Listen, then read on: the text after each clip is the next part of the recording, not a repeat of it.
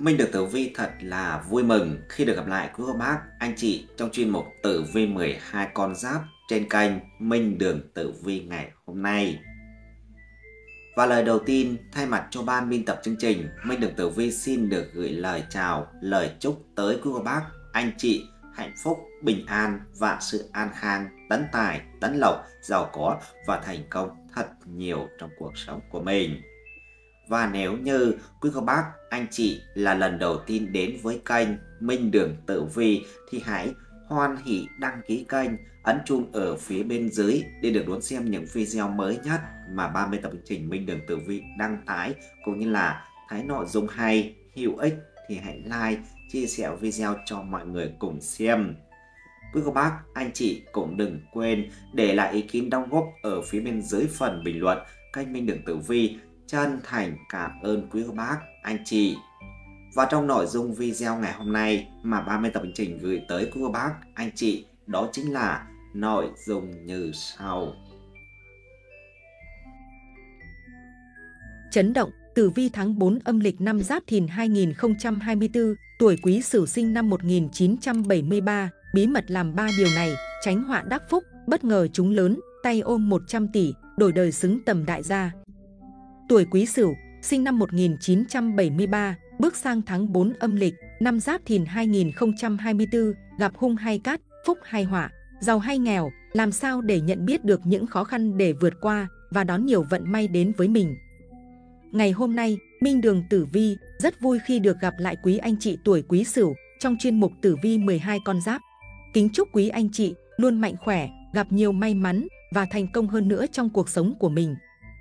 Người tuổi Quý Sửu, sinh năm 1973, được các nhà chiêm tinh học, nhà tử vi học phương Đông dựa trên sự dịch chuyển của các chòm sao và sự biến chuyển của thiên can, địa chi, ngũ hành của bản mệnh tuổi Quý Sửu, dự đoán đúng trong tháng 4 âm lịch, năm Giáp Thìn tới đây, người tuổi Quý Sửu sẽ có được các tinh trợ mệnh, thân tài dẫn bước, sẽ đón nhiều vận may bất ngờ, tài lộc thăng hoa, có cơ hội trúng số, trúng thưởng, đổi đời đại gia. Con giáp này sẽ thay đổi cuộc đời từ đây. Vậy, vận trình cụ thể ra sao? Xin mời quý anh chị tuổi quý sửu cùng chú ý theo dõi trong lá số tử vi của mình dưới đây. Tổng quan tử vi tuổi quý sửu sinh năm 1973 Quý sửu hay còn gọi là lan ngoại chi ngưu Người tuổi quý sửu tính tình không trầm tĩnh như người tuổi tân sửu, không mạnh mẽ như người tuổi ất sửu. Nhưng vẻ ngoài của người tuổi quý sửu toát lên khí chất nho nhã, thanh tao và luôn gây được thiện cảm với người xung quanh. Người tuổi quý sửu vốn không sôi nổi, nhưng luôn giúp đỡ người khác. Họ có chí tiến thủ, nhưng không quá tham vọng với quyền lực như người tuổi sửu mệnh hỏa. Người này thường trầm mặc ít nói, có được lòng người khác, cũng không hay được trọng dụng. Tuy nhiên, nội tâm họ lại khá ôn hòa, làm việc nghiêm túc chăm chỉ, khả năng hoạt động độc lập tốt, kiên trì nghị lực. Họ luôn mong muốn gây dựng cho bản thân và gia đình cuộc sống giàu sang, nên thường xa nhà lập nghiệp từ khi còn rất trẻ. Thời thanh niên gặp nhiều vấp váp, nhưng may mắn có quý nhân phù trợ, tay trắng làm nên cơ nghiệp, trung niên chịu nhiều phiền muộn về sức khỏe và tinh thần, song hậu vận vô cùng tốt đẹp, có phúc an nhàn. Ưu điểm lớn nhất của người tuổi quý sửu chính là tinh thần trách nhiệm cao, sống thực tế, mọi chuyện đều suy xét kỹ càng trước khi hành động, có lòng yêu nước nồng nàn, có hoài bão lý tưởng, coi trọng công việc và gia đình, tính cách cương trực quật cường làm mẫu người bảo thủ và truyền thống. Tuy nhiên, lại dễ nóng tính, quá cứng nhắc, không cư xử khéo léo nên khiến mọi chuyện thường rơi vào thế bế tắc không thể cứu vãn được. Tính cách bình ổn, cẩn trọng, người cầm tinh con trâu không bao giờ hoảng loạn khi đối mặt với khó khăn, họ không dễ bị ảnh hưởng bởi môi trường hay suy nghĩ của người khác, luôn giữ vững tinh thần kiên trì làm đến cùng. Trước khi quyết định hay hành động, họ đã sớm suy nghĩ kỹ càng chuẩn bị đủ đầy, nhờ thế mà đã thực hiện là thường đạt được thành công. Tuy nhiên, tính tình cố chấp thích thể hiện bản thân, đam mê sự nghiệp lại nghị lực phi thường, nên người này không hợp làm những công việc lặng lẽ, họ là những nhà lãnh đạo bẩm sinh. Những người tuổi quý sửu có lối sống rất thực tế, không mơ mộng hão huyền, họ ghét những lời nói ngon ngọt, nịnh bợ người khác, thậm chí là tránh xa những người mồm mép tép nhảy. Người này ít chia sẻ những cảm xúc suy nghĩ của mình ra bên ngoài, dù là với người thân mật, bởi vậy không ai biết những kế hoạch của họ đang làm. Quý Sửu là người sống có trách nhiệm với tập thể, họ không bao giờ vì lợi ích của bản thân mà quay lưng, mang lại khó khăn cho người khác. Dù có gặp phải những khó khăn hiểm nguy, họ cũng sẽ không bao giờ nao núng, sợ hãi, ngược lại luôn điềm tĩnh, dũng cảm vượt qua thử thách. Trong công việc, quý sửu cẩn trọng, biết tiếp thu ý kiến của người khác, có tinh thần cầu thị, có thể nói con người họ sống như tính chất của hành mộc, luôn vươn lên tươi xanh và cân bằng sức sống chan hòa. Người tuổi quý sửu mệnh mộc có tinh thần hợp tác và biết cách tạo dựng các mối quan hệ tốt đẹp trong công việc cũng như trong cuộc sống. Cũng có không ít người tuổi sửu mệnh mộc khá thông minh, nhanh nhẹn. Họ biết tận dụng mọi cơ hội khi có thể để biến lý tưởng của mình trở thành hiện thực. Cuộc đời của họ tuy có gặp khó khăn, nhưng họ đều biết cách vượt qua để tạo lập sự nghiệp cho bản thân mình. Tính tình lanh lợi hoạt bát, có chính kiến riêng, cũng có dũng khí đứng ra bảo vệ quan điểm của mình. Quý sửu không bao giờ khoanh tay đứng nhìn kẻ yếu bị hiếp đáp, cũng vô tư giúp đỡ bạn bè mà chẳng cần tới báo đáp. Tuy nhiên, tính cách của người tuổi quý sửu có phần hơi cứng nhắc, thẳng thắn quá nên dễ đắc tội với mọi người. Đây cũng có thể coi là nhược điểm lớn nhất của người này. Họ quan niệm rằng cây ngay không sợ chết đứng và sống đúng với bản chất của mình, làm những gì mình cho là đúng. Vận mệnh của bản mệnh quý sửu khá tốt, được quý nhân đi theo phù trợ. Mỗi khi gặp chuyện khó khăn hay đến giờ phút quan trọng, họ thường may mắn được mọi người giúp đỡ, ủng hộ và hỗ trợ nhiệt tình. Đây là điều đáng quý mà không phải ai cũng có được. Tuy nhiên không nên quá ỉ lại và phải luôn nỗ lực hết mình thì mới có thể đạt được thành công đáng quý. Cuộc sống đôi khi như một cuộc học hỏi, khiến con người chúng ta luôn phải nghĩ ngợi, luôn phải bon chen, lao động hăng say và thật nhiều cố gắng. Đây là những năm của sự đổi thay, của sự vần xoay, của vô vàn những bài kiểm tra cuộc đời sẽ mang đến. Không có gì là sai khi chịu chút thất bại của cuộc đời trong thời gian dài. Nếm trải đủ, người yêu quý có, người khinh miệt có, người tôn trọng cũng có và kẻ tệ bạc cũng không thiếu. Trung quy chỉ là thời thế không thuận, bản thân chưa sáng suốt, suy nghĩ chưa đủ kỹ càng có vậy mà thôi. Kỳ thực đời người có ai mà không vấp ngã. Lắm lúc bạn cũng nghĩ rằng bản thân thấy mừng thì ít ra ngã sớm trong cái đoạn thanh xuân còn tươi trẻ để rồi lại dễ dàng vực dậy làm lại từ đầu, đón ánh nắng sáng sớm đẹp đẽ của cuộc đời vào những ngày bình yên. Vạn sự sẽ như một hạt mầm trong tay quý sửu gieo xuống bản mệnh của bản thân, là đại thụ hay chỉ là rau muống, là mạnh mẽ vươn lên hay lu mờ ảm đạm, tất cả phụ thuộc vào việc quý sửu cháy được bao nhiêu phần trên con đường của chính mình. Thay vì còn bơi lội trong đại dương bao la rộng lớn, lạc lối giữa những dòng nước xiết muôn nẻo, nay bạn đã có định hướng đường đi của mình vào một mảng, bạn đã biết mình sẽ đi về đâu, muốn đứng ở đâu, muốn làm gì để gắn bó với nó tới những năm cùng tháng tận, cho thỏa cái trí ấp ủ của bản thân mình mới là điểm nở sắc bông hoa khoe hương, khoe sắc của tuổi quý sửu. Đó cũng là một năm thành công tới, thành tựu về, đường đi thuận, tình cảm hay, vận thế may, là một năm bản mệnh có thế giới nội tâm phong phú và vô cùng giàu tình cảm mạnh mẽ. Lẽ dĩ nhiên, quý sửu thường chỉ có vô vàn động lực sau khi đã ổn định chuyện ngọt nhạt yêu đương, nay là năm thiên thời có, địa lợi nhiều, nhân hòa lắm, cũng là lúc quý sửu không còn luyến lưu dĩ vãng khi cảnh trời rộng mở bao la. Nói quý sửu bớt cả nể đi mà thuận theo bản tâm thì thực sự hơi khó, chỉ biết nói khi bạn thiện chính là khi bạn đang thiện, thiện chính là cơ sở của triệu triệu thuận may, hỗ trợ thăng tiến cho họ trong thời điểm tương lai. Năm nay là năm những thành tựu bạn sẽ đạt được, dù bản thân bạn không ngừng bị so sánh, không còn âu lo, không còn muộn phiền, không còn bị nói ra nói vào vì sự y ạch chậm ổn định đùng đỉnh của chính mình. Vậy cứ mạnh dạn mà tiến, cứ hoan hỉ mà chiến, từng bước từng bước dựng xây nên thế giới rực rỡ mà chính bạn luôn mong cầu.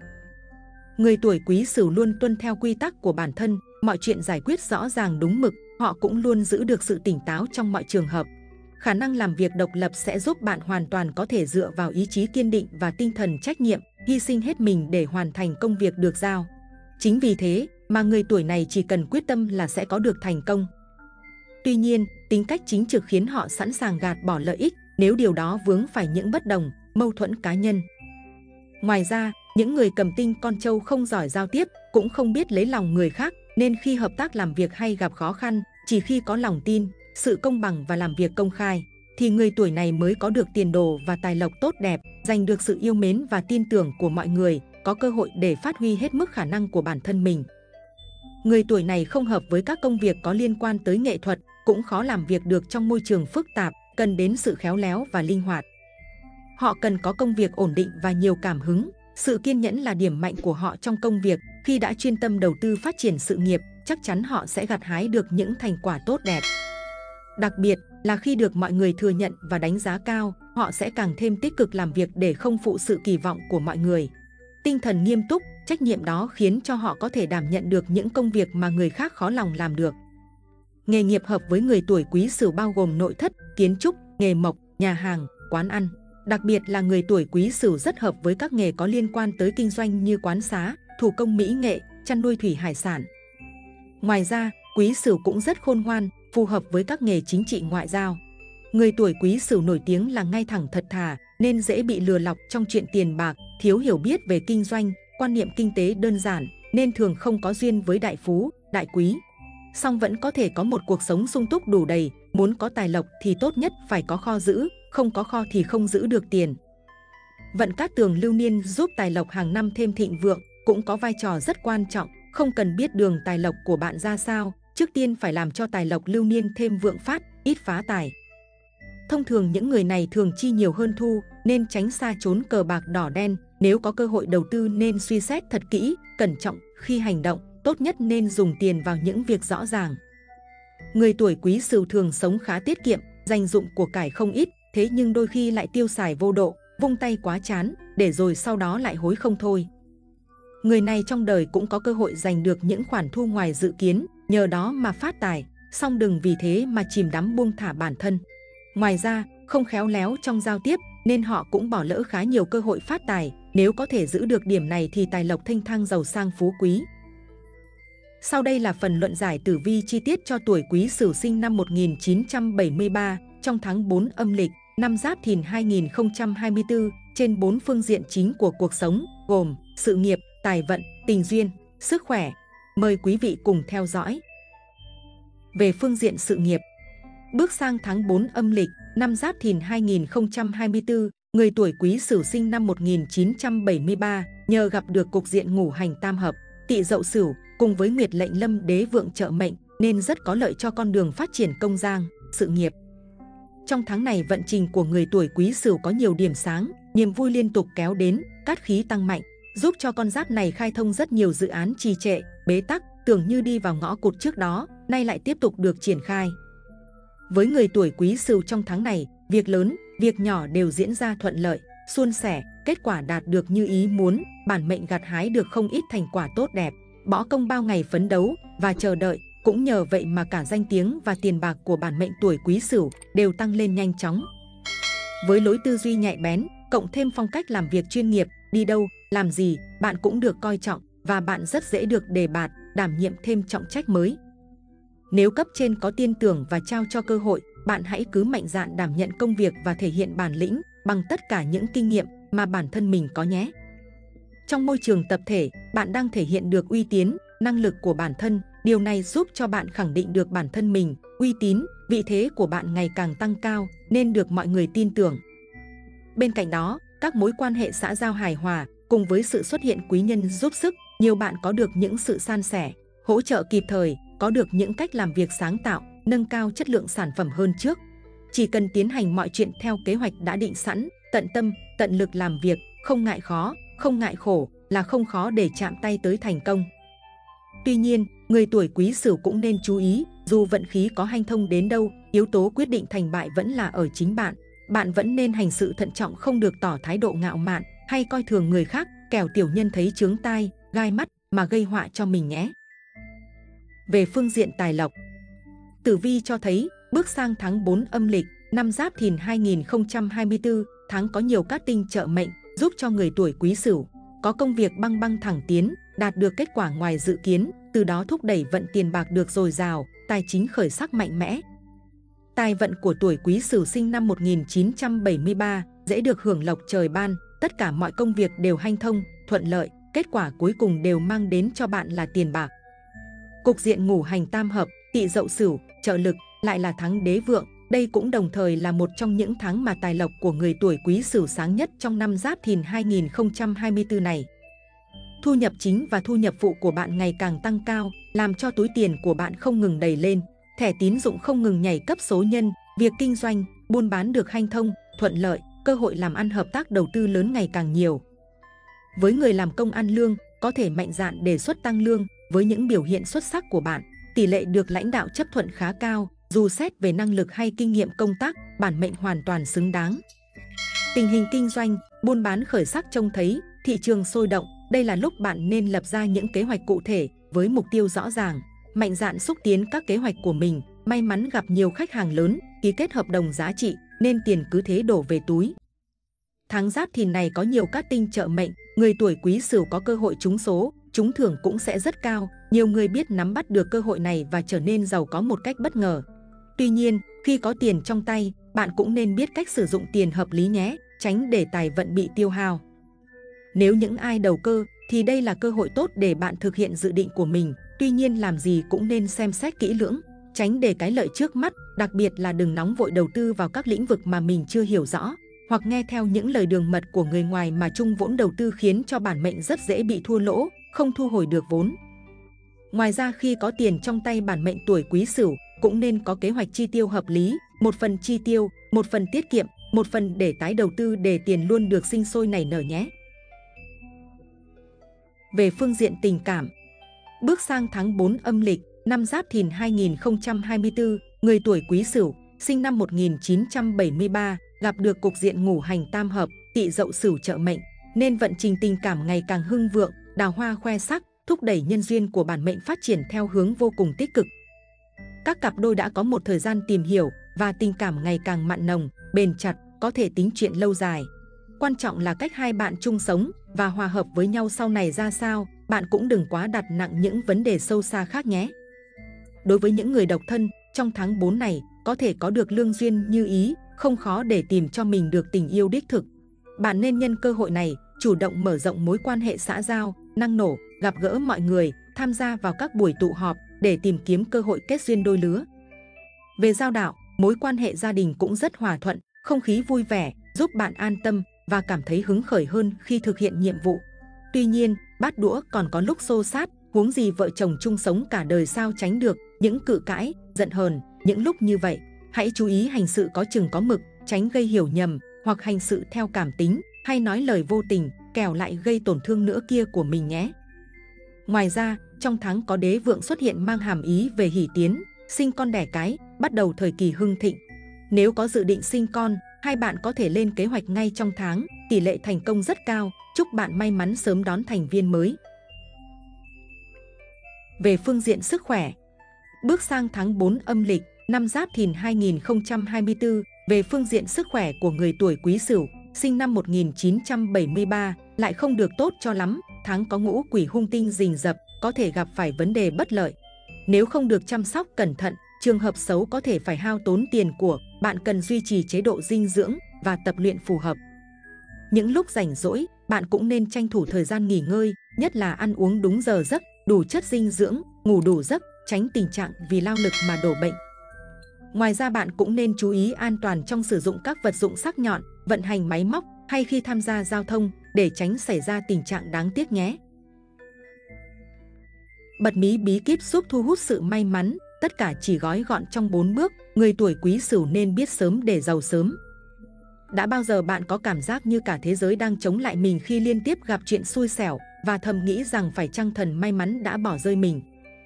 Hầu hết mọi người sẽ nói với bạn rằng may mắn là ở đúng nơi với đúng người vào đúng thời điểm, nhưng thực ra may mắn còn chứa đựng nhiều hơn thế. Nếu bạn đang ngồi chờ vận may ập đến như một tia chớp nhân từ, thì có lẽ bạn nên biết điều này.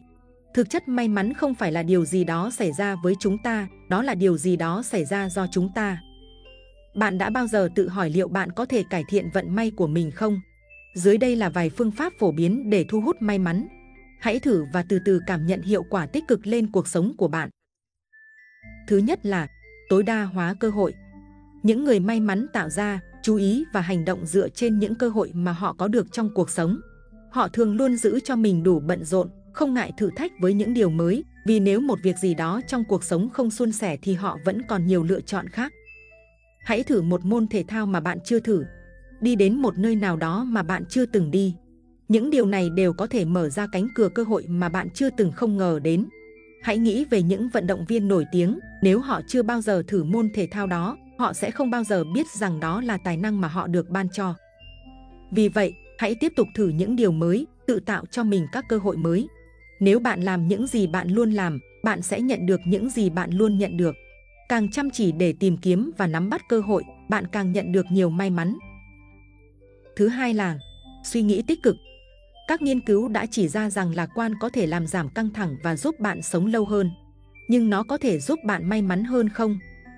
Khi lạc quan, bạn mạnh dạn đối mặt với thử thách và điều này tăng cơ hội thành công hơn khi bạn không trốn chạy vì những suy nghĩ tiêu cực. Nếu bạn tin rằng việc mình làm sẽ đạt được kết quả tốt, bạn sẽ nỗ lực và có động lực để biến điều mình tin tưởng thành sự thật. Vì vậy, muốn gặp may mắn, đừng để những suy nghĩ tiêu cực hiện diện suốt ngày trong đầu, đừng để sự tiêu cực cướp đi vận may của bạn. Thứ ba là biến vận rủi thành may. Những người may mắn không phải lúc nào cũng may mắn, nhưng họ xử lý nghịch cảnh khác với những người không may mắn. Nhìn thấy mặt tích cực ngay cả với những điều xui xẻo. Tin rằng bất kỳ vận rủi nào trong cuộc sống của họ về lâu dài sẽ đem lại điều tốt. Người may mắn không dựa vào vận may của họ. Thực hiện các hành động mang tính xây dựng để ngăn chặn những điều xui xẻo hơn trong tương lai. Khi mọi thứ trở nên khó khăn, bạn có hai lựa chọn, trốn tránh hoặc tiếp tục đối mặt. Bỏ cuộc, ủ rũ và nhốt mình trong nhà sẽ không giúp vũ trụ mang đến cho bạn những cơ hội tốt hơn. Vì vậy hãy không ngừng tìm cách lật ngược thế cờ, tìm giải pháp cho vấn đề của bạn, may mắn sẽ xuất hiện trong lúc bạn không ngờ đến. Thứ tư là lắng nghe trực giác. Những người may mắn hành động dựa trên trực giác của họ trong nhiều lĩnh vực của cuộc sống.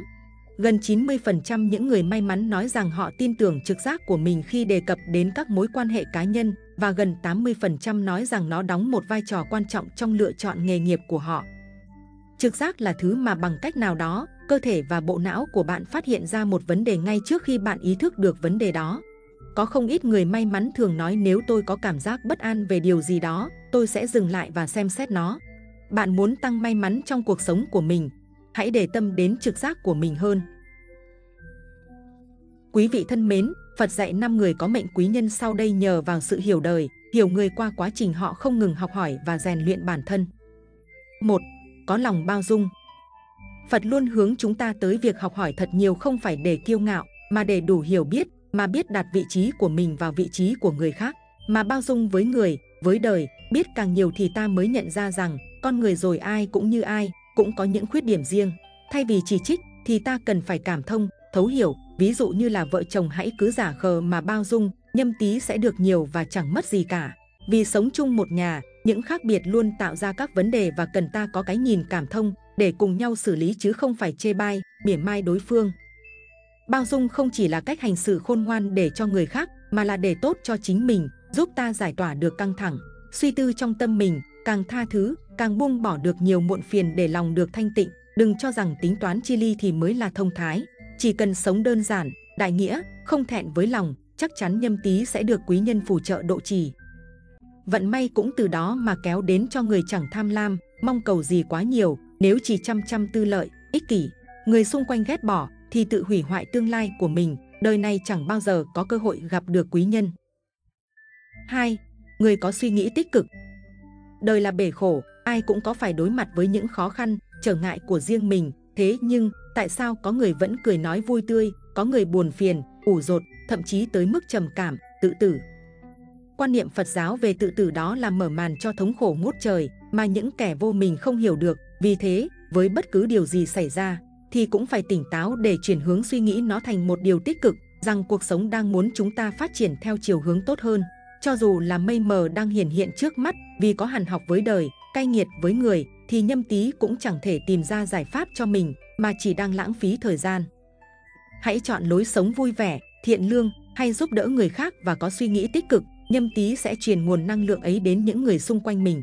Chính những người nhận được sự giúp đỡ ấy sẽ đem lòng biết ơn nhâm tý như cách nhâm tý biết ơn cuộc đời mỗi ngày, sẽ giúp đời nhâm tý thêm phúc lộc, bình an. 3. Người vui vẻ, hòa đồng Người vui vẻ, hòa đồng là người luôn biết mở lòng với bất cứ ai, họ không phân biệt giàu nghèo, văn hóa, sắc tộc hay bất cứ khoảng cách nào. Điều này mang lại cảm giác gần gũi, an ủi cho những người yếu thế và cảm giác bình yên cho những kẻ tham vọng. Đa mưu, chỉ cần sự xuất hiện của họ trên thế giới này cũng đã đủ làm thế giới trở nên tốt đẹp hơn theo một cách kỳ diệu nào đó. Một trái tim ấm áp sẽ sưởi ấm được những người xung quanh, thế nên nhâm tý hãy luôn vui vẻ, chan hòa với mọi người. Những ấn tượng tốt trong lần đầu gặp gỡ sẽ khiến họ tạo được mối lương duyên tốt đẹp với người khác. Từ đó, quý nhân hay người hiền sẽ tự khắc đến bên đời họ. Vì thế, người này có mệnh quý nhân khi họ có thể hòa mình cuộc sống, dễ dàng thích nghi với hoàn cảnh, trong khi người khác cảm thấy đau khổ, hờn giận, oán thán, cuộc đời của họ vì thế mà nhẹ nhàng, êm đềm và hiền hòa hơn bất cứ ai. 4. có lòng vị tha. Cho dù nhâm tý có gắng sống tốt đến thế nào, thì vẫn có những người ganh ghét nhâm tý, luôn có những ánh mắt soi mói đố kỵ của những người xung quanh. Bởi khi sinh ra thì người ta đã có lòng đối kỵ dành cho nhau rồi, vì thế, phải hiểu một điều rằng, không phải cứ nhâm tý không muốn tạo hiểm khích là sẽ có người không ghen ghét nhâm tý. Nhưng cũng đừng vì thế mà cũng tỏ ra thù ghét với họ, đáp trả cái sai của người ta bằng cái sai khác của mình là điều chẳng đáng. Với sự vị tha trong lòng mình, hãy tha thứ cho họ, thậm chí là người đã từng hại ta, những người đã gây ra lỗi lầm với ta. Nếu họ quay đầu, ta đừng tiếc tin tưởng họ thêm lần nữa, nhưng nếu là việc họ cố tình, thì nên tránh xa kiểu người này. Bên cạnh đó, chẳng ai hoàn hảo cả, ai cũng có thể phạm sai lầm, quan trọng là đừng tiệt đường sống bất cứ ai khác. Nếu người khác phạm lỗi lầm, hãy cho họ cơ hội sửa sai, làm lại từ đầu. 5. Người chăm chỉ Thói quen lười nhắc âm thầm hủy hoại tương lai chúng ta lúc nào không hay với những yên ổn mang tính tạm bợ. Đừng mơ rằng một ngày nào đó, bất ngờ có quý nhân mang tới cho ta cuộc sống như mơ mà chẳng cần phải lao động. Chăm chỉ lao động sẽ tạo ra của cải, sẽ giúp ta thông minh, trí tuệ hơn mỗi ngày. Quý nhân nằm trong việc nhâm tý là người chăm chỉ làm việc, không quản ngại khó khăn, vất vả sẽ nhận được thành quả xứng đáng, không những tiền tài, danh vọng, họ còn có cả sự kiêng nể của đồng nghiệp, trân trọng của cấp trên, một người có ý chí và siêng năng, biết vượt qua mọi khó khăn, không nản lòng thì sẽ đi đến mục tiêu. Chính Đức Phật chúng ta là một ví dụ điển hình cho một ý chí vững vàng và sự cần mẫn phi thường để đạt được quả vị tối thượng. Ngài chưa bao giờ nghĩ tới việc bỏ cuộc, thậm chí thử bằng nhiều cách để tìm ra hướng giải thoát cho thân và tâm của mình. Chưa chăm chỉ thì đừng đổ tội cho số phận tại sao mình nghèo. Cũng vậy, nếu muốn làm giàu và thoát nghèo, thì chúng ta phải siêng năng làm việc, mạnh mẽ kiên cường để vượt qua những thử thách, chứng duyên thì sẽ đạt được như lòng mong cầu. Vâng, kính thưa quý vị, trên đây là những chia sẻ rất tâm huyết đến từ ban biên tập chương trình về tử vi tháng 4 âm lịch năm Giáp Thìn 2024 cho người tuổi Quý Sửu sinh năm 1973. Minh Đường Tử Vi rất mong rằng quý anh chị tuổi Quý Sửu sẽ đón nhận được nhiều may mắn trong mới và làm giàu cho bản thân mình, cho xã hội. Minh Đường Tử Vi vô cùng cảm ơn quý anh chị đã quan tâm và theo dõi chi tiết hết video của chúng tôi. Mọi ý kiến đóng góp và thông tin cần được tư vấn hỗ trợ, vui lòng comment ở bên dưới và bình luận. Ban biên tập chương trình sẽ tư vấn và giải đáp miễn phí cho quý anh chị trong thời gian sớm nhất.